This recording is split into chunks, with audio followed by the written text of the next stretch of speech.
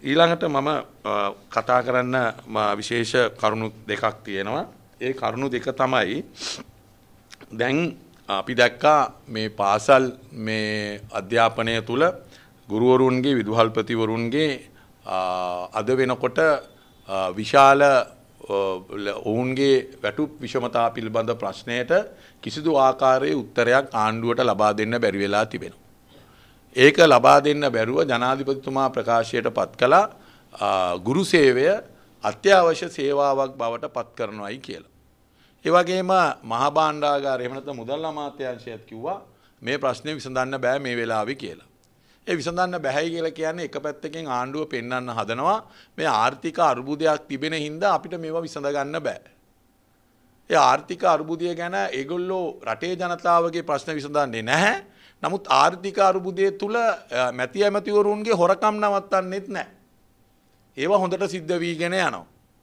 ඉතින් ජනාධිපතිතුමාගේ හිතවත්තු ඒ වගේම අපි දැක්ක පෞගිය කාලේ දැන් මේ ජනසංඛ්‍යාන ලේඛන දෙපාර්තමේන්තුව පෞගිය කාලේ නිකුත් කරපු වාර්තාවේ විශාල කරුණු වාර්ගයක් එළිදරව් වෙලා තිබෙන පාසල් යන සිසුන් සම්බන්ධව. විශේෂයෙන්ම අපි බැලුවොත් එහෙම දැන් පළවෙනි ශ්‍රේණියට ඇතුළත් කරන්න ඕන ළමයි 50000ක් විතර වගේ තවම ඇතුළත් කරගන්න බැරි වෙලා තිබෙනවා. ඊළඟට මේ රටේ 150ක් විතර වගේ ළමයි ඉන්නවා ගිය අවුරුද්දේ ඇඳගෙන ගිය නිල ඇඳුම තමයි මේ අවුරුද්දේ ඇඳගෙන යන්නේ. සියයට හතලියක් විතර වගේ ඉන්නවා පාසල් අධ්‍යාපනය සම්පූර්ණයෙන්ම කඩාකප්පල් වෙලා ඒගොල්ලන්ට පාසල් යන්නට අවශ්‍ය භෞතික සම්පත් මුදල් පාසලට ඉගෙනීමට අවශ්‍ය සම්පත් ලබාගන්න පුළුවන් විදිේ ඒගොලන්ට ආර්ථික ශක්තියක් නොමැති වීම උඩ සියයට හතලියක විතර වගේ අධ්‍යාපනය කඩා වැටල තියෙනවා.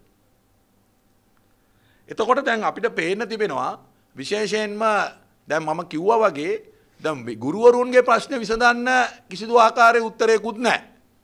අඩුම ගානේ මේ පාසල් නොයන ළමයි මේ ආර්ථික අගහිඟකම් මැත්තේ Tamanගේ අධ්‍යාපනය කඩාකප්පල් කරගෙන ඉන්න ළමයින්ව වැඩපිළිවෙලක් හදන්නෙත් නැහැ ඒ ළමයින්ව පාසලට ගෙන්න ගන්න. ඒ කිසි දෙයක් කරන්නේ නැතුව ජනාධිපතිවරයා Tamanගේ කැබිනට් මණ්ඩලයේ වෙන වංචා දූෂණ නවත්ත ගන්න වැඩ කරන්නේත් නැහැ. ඒවා කරන්නෙත් නැතුව එතුමාට පුළුවන් වෙන්නේ ජනාධිපතිවරය හැටියට තියෙන බලතල පාවිච්චි කරලා ගැසට් නිවේදන ගහනවා අත්‍යවශ්‍ය සේවාව කියලා. ඒක තමයි දැන් අර ගෝඨාභය රාජපක්ෂ කරා වගේ හැම දෙයකටම ගැසට් ගහන එක තමයි උත්තරේ වෙලා තියෙන්නේ. ඒව නවත්තන්නේ නැහැ. නමුත් ඇමැති ඇමතිවරු ටෙන්ඩර් නොදා කරන ගනුදෙනු නවත්තන්න ගැසට් ගහන්නේ නැහැ. ඒවට ජනාධිපතිතුමාට ඒගොල්ලන්ව ගෙනල්ලා කිසි දෙයක් ඉව ගන්න බෑ. ද අපි දැක්කන කේලිය රමුක්වැල්ල ඇමතිවරයා අද රිමාන් භාරයට පත් වෙලා ඉන්නේ ජනාධිපතිතුමාගේ ප්‍රධානත්වයෙන් තිබෙන ඔය කැබිනට් මණ්ඩලය දීපු අනුමැති උඩ. තත්ත්වයෙන් බාල බෙහෙත් ගේන්න වැඩි ගණන් වලට බෙහෙත් ගන්න ටෙන්ඩර් නැතුව බෙහෙත් ගන්න ඊළඟට රෝහලේ බෙහෙත් තියාගෙන බෙහෙත් නැහැයි කියලා බෙහෙත් ගෙන්නවා. අද එවැනි වංචානික ගනුදෙනු රාශියක් කරේ ජනාධිපතිතුමාගේ ප්‍රධානත්වයෙන් තියෙන ඔය කැබිනට් එක. දැන් ඒව නවත්ත ගන්න පුළුවන් වැඩ පිළිවෙලක් තියෙනවා. දැන් අදානී සමාගමත් එක්ක ගහන්න යන ගිවිසුම. දැන් අපිට පේනවා ඒක ඊටාම දූෂිත ගිවිසුමක්. අපේ රටට සුළම් බලාගාර මේ මේ විදුලි බලාගාර හදන්න ආයෝජනය ගෙනල්ලා අන්තිමට අපේ තාක්ෂණ කමිටුව කියනවා ඩොලර් සත පහයි දෙකට ගන්න පුළුවන් කියලා. එහෙම කියද්දී ඇමතිවරයා ගිවිසුම අස්සම් කරන්න යනවා ඩොලර් සත හටයි දෙකට. යන ඩොලර් සත තුනක් වැඩියෙන්. ඊළඟට මෙගාවෝඩ් පණහට ටෙන්ඩර් කැඳවීම තුළ ඒ ටැන්ඩර් විවෘත කරාම මෙගාවෝඩ් පණහේ ආයෝජනයට එන සමාගම් කියනවා අපි යුනිට් එක ඩොලර් සත හතරට දෙන්න පුළුවන් කියල. නමුත් මෙගාවෝඩ් පන්සීයක ආයෝජනය ගේන අදානි සමාගම කියනවා අද සමාගමට ඒගොල්ලන්ගෙන් ගන්න හදනවා ඩොලර් සත අටකට. තොර අපිට පේනවා ද ඒව ගැන ජනාධිපතිතුමා කිසිම ආකාරයේ සංවේදී භාවයක් නෑ. ඊළඟට VSF ගණු දෙනුවත් එහෙමයි. අපි දන්නවා. අද අපේ රටට එන්න ඕන ආදායම ඩොලර් විසි පහ අද යනවා විදේශය සමාගමකට. ඔය මුදල් ආවනම් මේ ගුරුවරුන්ගේ පඩි ගෙවන්න පුළුවන්. ද මගේ ළඟ තිබෙනවා බදු පැහැර හැරිලා ඇරපු ගාන රුපියල් බිලියන එක්දා සටසිය හැටයි. බදු ගෙවන්න පැහැර ඇරපු ගාන. ඊළඟට වැට්බද්ද පෑර ඇරලා තිනවා රුපියල් බිලියන 678කට. ඊළඟට දෙදස් විසිතුනේ බදුසාහන දීල තියෙනවා රුපියල් බිලියන නමසය හැත්ත දෙකක්. සම්පූර්ණ එකතු අපි බැලුවොත්තේම මේ බදුවලින් අපිට එන්න තියෙන ගාන රුපියල් බිලියන දෙදාත් අත්සිය දාසයක් බදුවලින් එන්න තියෙනවා. දැ ඒ බදු අය කරගන්න මොකද දාන වැඩ පිළිවල. ඒක කියන්නේ නැතුව හැමදාම ජනාධිපතුමා විල අර වැල් පාලමෙන් එකට වෙන කතාව කියනවා. එයාගේ එයාගේ වැල් පාලම නම් ඉවර වෙන වැල් පාලමක් නෙමෙයි තියෙන්නේ. ඒක දැන් අවුරුදු එකමාරත් තිස්සේ දැන් ළමයා උස්සගෙන එනවා. හරි. ඒක ඉවර වෙන වැල් පාලමකුත් නෙමෙයි. හරි දැන් වැල් පාලමේ දැන් ටයිටනික් නැවට ඇවිල්ලා තියෙනවා. දැන් අලුත් කතාව. ඒ හින්දා දැන් අපිට පේනවා දැන් මේවා ගැන කතා කරන්නේ නැහනේ. ද සීනි බදු වංචාවෙන් වෙච්ච පාඩුව රුපියල් මිලියන 15000කට වඩා වැඩි. දැන් මොකද්ද මුදල් අමාත්‍යාංශය ඒව අය කරගන්න අරගෙන තියෙනටි? නෑ. හැමදේම අපේ රටේ සාමාන්‍ය ජනතාවගේ වැට් එක වැඩි කරා, විදුලි බිල වැඩි කරා, ඊළඟට ගෑස් එක වැඩි කරා, ඊළඟට අපි දැක්කා මේ මේ මේ සමාජ ආරක්ෂණ බද්ද හරි පේයි ටැක්ස් එක ඒ හැම බද්දම වැඩි කරලා මේ රටේ ඉන්න සාමාන්‍ය ජනතාවගෙන් පුළුවන් තරම් ගන්නවා. ඒ ගන්න ගමන් හොරකමුත් කරනවා. ඒව නවත්තන්න කිසිදු ආකාරයේ වැඩපිළිවෙලක් නැහැ. දැන් අපි දැක්කා ඊයේ මේ මේ රුපියල් 11කින්ද පෙට්‍රල් අඩු කරලා තියෙනවා.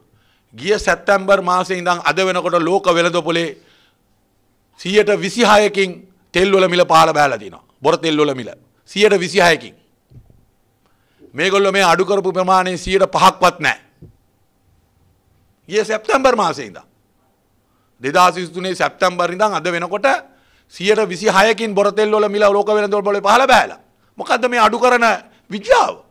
රුපියල් 2යි රුපියල් 11යි රුපියල් දෙකට ටොපියක් ගන්න පුළුවන්ද? රුපියල් දෙකේ කාසි නෑ දැන්. ඒ කාසි ගහන්නෙත් නෑ. මොකද ඒ දෙකේ කාසි ගහන්න ඊට වඩා වියදම් කරන්න ඕනේ. ඒවා දැන් සත ගානකටපත් වෙලා තියෙන්නේ. දැන් ඒවා වලින් තමයි අඩු කරන්නේ. ඒක තමයි මම කිව්වේ අන්ත දූෂිත කැබිනට් මණ්ඩලයක් තිබෙන ආණ්ඩුවක්. ඒ කියන්නේ ජනතාව අමාරුවෙන් ජීවත් වෙන මොහොතකදීවත් ජනතාව ගැන හිතන්නේ නැති Tamanගේ ආදායම කොහොමද හොයාගන්නේ කියන එක මේ ඒ කියන්නේ මේ මේ මේ මේ අමාරුකමෙත් ගේම ගහනවා. දැන් මගේ ළඟ තව ගේමක් මම දැන් එළියට දානවා. මෙතන තියෙනවා මගේ ළඟ මේ දැන් මේ මේ නාගරික සංවර්ධන අධිකාරිය ගනුදෙනුවක්. දැන් මේ නාගරික සංවර්ධන අධිකාරියේ තමුන්නාන්සලා දන්නවා දැන් මැනින් මාකට් එක කුපිට කොටුවේ. පිටකොටුවේ මැනින් මාකට් එක අක්කර හතරමාරා පහක වගේ ලොකු ඉඩමක්. දැන් ඒක පෑලියගොඩට අරන් ගිහිලා තිබෙනවා. දැන් මේ ඉඩම දැන් මේ මොහොතේ ජනාධිපතිතුමාගේ ළඟම ඉන්න හිත හිතවතෙක්ට දීලා තිබෙනවා කිසිදු ආකාරයේ ටෙන්ඩර් ක්‍රියාපටිපාටියකට යන්නේ නැතුව මාසයකට කුලිය ලක්ෂ 25කට දීලා තියෙනවා. කිසිම ටෙන්ඩර් ක්‍රියාපටිපාටියක් නැහැ. මාසයකට ලක්ෂ 25කට ඒගොල්ලෝ කුලියට දීලා තියෙනවා. ටෙන්ඩර් ක්‍රියාපාටිය නැතුව අක්කර පහක ඉඩම කොළඹ පිටකොටුවේ ඒ කියන්නේ කොළඹ හදවත වගේ තියෙන තැනක. දැන් ඊට පොඩ්ඩ එහායෙන් තියෙනවා තව අක්කර 6ක් වගේ ඉඩමක් චාම්සෙක් චාම්ස් ආයතන. ඔයගොල්ලෝ දන්නවා. අර වරායි ඉස්සරහා තියෙනවා රේගු රේගුවට එහා පැත්තේ තියෙන ඉඩම. ඒ චාම්ස් ආයතනය රතගාල් කිරීම ටෙන්ඩර් කැඳවලා ඒක දීලා තියෙනවා මාසෙට ලක්ෂ 100යි. ටෙන්ඩර් කැඳවීම හින්දා මාසෙට ලක්ෂ 100ක් එනවා නාගරික සංවර්ධන අධිකාරියට ආදායම. දැන් මේක ටෙන්ඩර් කැඳවන්නේ නැතුව මාස 6කට ගිවිසුමකට කියලා දැන් 2023 පෙබරවාරි පෙබරවාරි මාසේ ඉඳන් මේක දීලා තියෙනවා. පෙබරවාරි මාසේ ඉඳන් මාස 6කට තමයි ගිවිසුම ගහන්නේ. නමුත් තවම ඒ ආයතනයට තමයි මේක ලබා දීලා තියෙන්නේ. ජනාධිපතිතුමාගේ හිතවතෙක්ට. මාසෙට ලක්ෂ 20ක් හදලා බලන්න ගණන්. අරක ටෙන්ඩර් කැඳවපු හින්දා ලක්ෂ 100කට දීලා තියෙනවා. මොකද චාම්ස් රතගාල ආයතනයට වඩා වැඩිම රතවාහන ගැවසෙන ස්ථානය තමයි පිටකොටුව. එතන තියෙන ආයතනය තමයි මැනින් මාකට් එක. ඒක දීලා තියෙනවා ලක්ෂ 25කට. ඉතින් මේ මේ මේ සල්ලි මේ සල්ලි හරියට ගේනවා නම් මේවා මේ රටේ ජනතාවට තව සහන දෙන්න පුළුවන්. ගුරුවරුන්ගේ වැටු විෂමතා විසඳන්න පුළුවන්. තව මිනිස්සුන්ට අස්වැස්ස දෙන්න පුළුවන් අස්වැස්ම දෙන්න පුළුවන්. තව පෙට්‍රල් ඩීසල් වල මිල අඩු කරන්න පුළුවන්. ඉතින් මේම හොරකම් වෙදි තමයි ජනාධිපතිතුමා අපිට ඇවිල්ලා කියනවා මම මේ වැල්පාලමෙන් අරන් ඉතින් වැල්පාලමෙන් අරන් යනකොට ඔබතුමාගේ ගෝල බාලයෝ මේ කරන වංචාවල් ටික නවත්තන්නකෝ. ඒව කරන්නේ නැහැ. ඒ විතරක් නෙමෙයි. දැන් ඒ රතගාල ඇතුලේ තියෙනවා විශේෂයෙන්ම පෞරාණික ගල්. ඒ කියන්නේ කළු ගල්. කළු ගල් වලින් හදපු ගල් ඔබතුමාලා ගියාම දැකලා ඇති. දැන් ඒ කළු ගල් ලක්ෂයකට වඩා වැඩි ප්‍රමාණයක් තියෙනවා ඒ මැනින් මාකට් එක ඇතුලේ සම්පූර්ණයෙන්. ලක්ෂයකට වැඩිය තියෙනවා. දැන් මේගොල්ලෝ ඒ ගිවිසුමේ ඒගොල්ලන්ට දෙනවා ඒ එක ගලක් රුපියල් 185කට තමයි UD එකට ඒ ආයතනය ගෙවන්නේ. ලක්ෂයකට වැඩිය තියෙනවා. ඒ එක කළු ගලක් වෙළඳ පොලේ වටිනාකම ඇවිල්ලා රුපියල් 800ක් වෙනවා. කොහමද? සෙල්ලම. වෙළඳ පොලේ වටිනාකම රුපියල් 800ක් වෙනවා. මේ මාකට් එකේ බ්ලොක් ගල්, ඒ කියන්නේ සිමෙන්ති වලින් හදන බ්ලොක් ගල්ලයක්ම රුපියල් 150ක් වෙනවා. එතකොට කළු ගල් වලින් හදපු කළු ගල් ඊටාම බ්‍රිතාන්‍ය අධිරාජවාදීන්ගේ කාලේ හදපු ගල් ඒවා. ඒවා මට මතකයි ඒ කාලේ අර BCC ආයතනයේ තේ කළුගල් ගෝඨාභය රාජපක්ෂ ආරක්ෂක ලේකම් වෙලා ඉන්නකොට ඒ ගල් ඔක්කොම අරන් ගියා හම්බන්තොටට ගලවලා. අරගෙන ගිහිල්ලා මං හිතන්නේ යාගේ තාත්තගේ සෝන හදනකොට එතන ගිහිල්ලා ඒ ගල් දැම්මද කොයිද? තාම වටිනා ගල් මිලියන 50කට වැඩිය අද නාගරික සංවර්ධන අධිකාරියට ආණ්ඩුවට මේ ගනුදෙනුව උස්සේ ආණ්ඩුවට පාඩු වෙනවා. මිලියන 50කට වැඩි. අර ඒ රතගාල ලක්ෂ 100කට දෙන්න පුළුවන් රතගාල දෙනවා ලක්ෂ 25කට.